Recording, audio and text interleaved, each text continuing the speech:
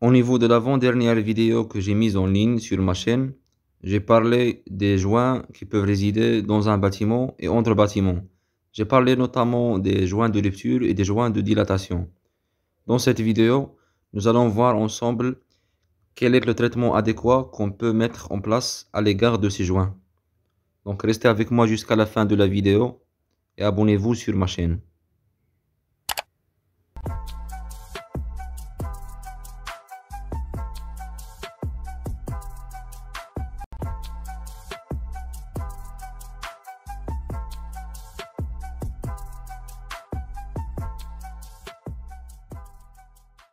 Euh, personne ne souhaite avoir un tel aspect décoratif au niveau des joints que renferme son bâtiment ou bien le joint entre son bâtiment et le bâtiment mitoyen.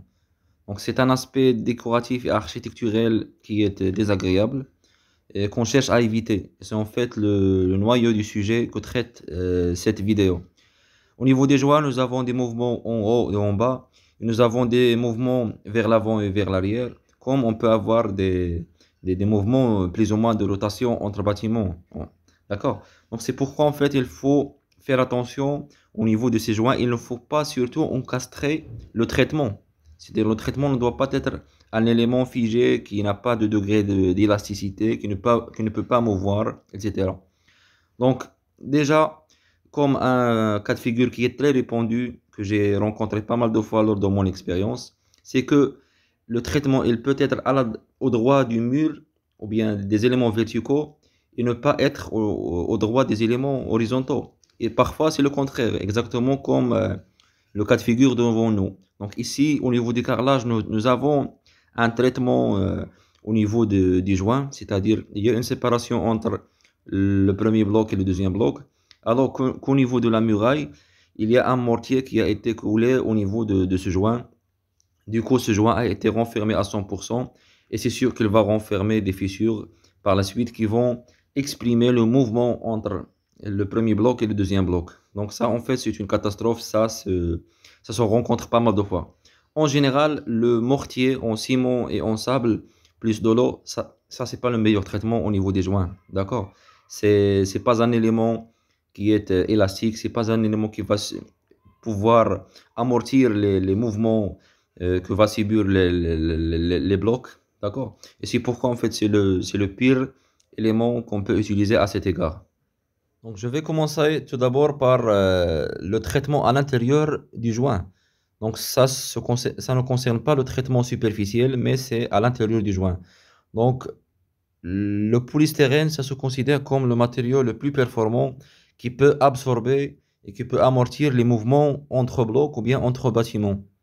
D'accord Donc il y a en fait pas mal de formes, pas mal de dimensions et de sections de, des joints en polystyrène. Et ça s'utilise en fait avant la construction de l'autre bloc ou bien de l'autre bâtiment.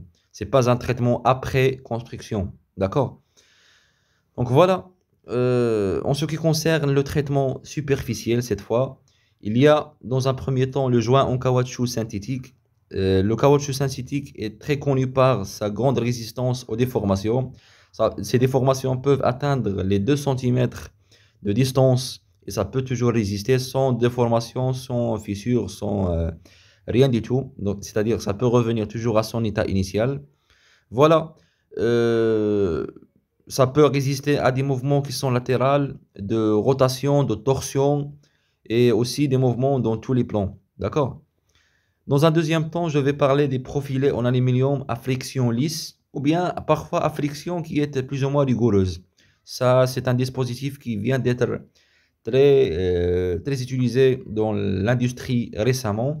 Donc en fait, le principe ici, c'est qu'il y a des mouvements de rotation, bien des pivots euh, au niveau des extrémités, c'est-à-dire les deux bras de, de, ce profilé, ils peuvent mouvoir, ils peuvent avoir des, subir ou bien faire face à des mouvements de rotation, mais aussi des mouvements de, de translation, soi-disant.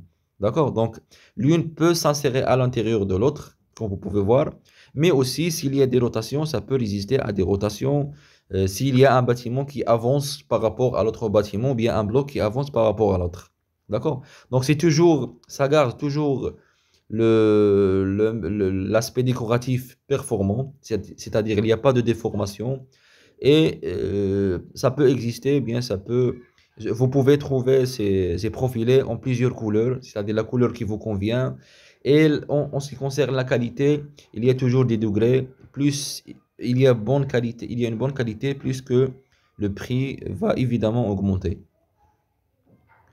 Toujours dans le même cas des profilés euh, en aluminium à friction, on peut parfois ajouter d'autres dispositifs qui peuvent euh, ajouter d'autres performances à ce joint. Par exemple, la membrane EPDM qui est considérée comme une étanchéité, c'est-à-dire s'il y a de, de, de l'eau, de l'eau ne va pas s'infiltrer à l'intérieur du joint. S'il y a de l'humidité toujours, euh, il y a aussi un, aspect qui est très important, c'est en fait le cordon coupe-feu, le troisième élément. Donc ici, ça s'utilise comme euh, euh, un élément qui fait face à l'infiltration des, feux, ou bien parfois même des, fumées. D'accord S'il y a des fumées à l'intérieur, ou bien du feu à l'intérieur, ça ne va pas s'infiltrer à l'intérieur du, du joint. On sait très bien l'effet néfaste du feu sur le béton. D'accord? Par la suite, je vais parler des joints en mousse de roche plus amastique. Ça, c'est un élément, ou bien c'est un traitement qui s'utilise surtout au niveau des ouvrages euh, horizontaux. D'accord? Je ne parle pas maintenant des ouvrages qui sont verticaux, mais des ouvrages qui sont horizontaux, notamment le, au niveau du carrelage. Par exemple, on peut utiliser la mousse en roche ou bien en laine de roche et sur laquelle on peut couler un mastic souple. Exactement comme vous pouvez voir à la photo à la droite. Et à l'intérieur du joint, on peut le laisser vide sans le remplir.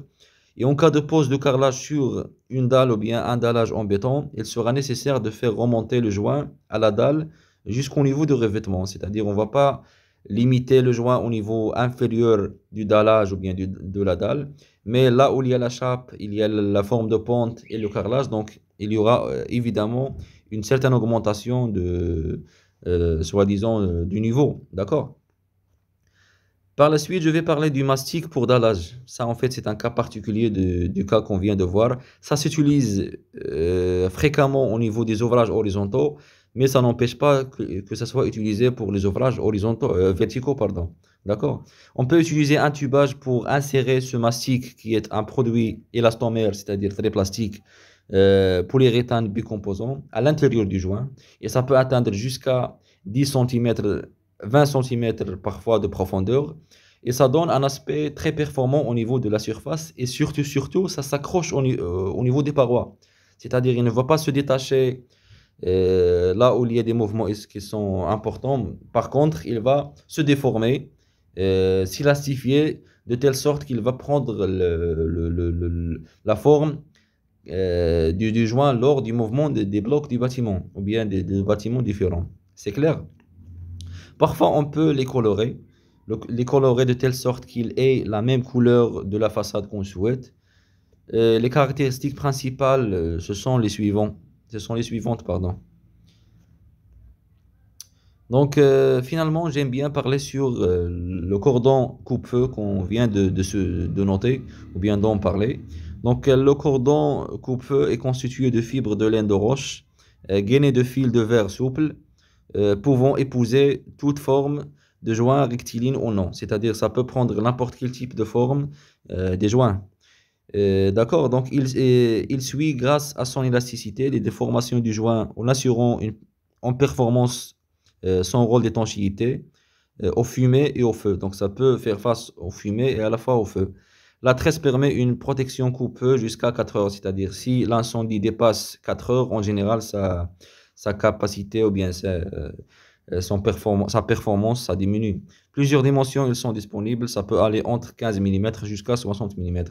Donc voilà, j'espère que j'ai bien détaillé le sujet du traitement des, des joints suite à une demande euh, d'un fidèle de, de la page ou bien de la chaîne. Donc, si vous avez toujours des points à éclaircir, des questions, des points complémentaires, n'hésitez pas à, à les écrire au niveau des commentaires. Merci à vous, à une prochaine vidéo.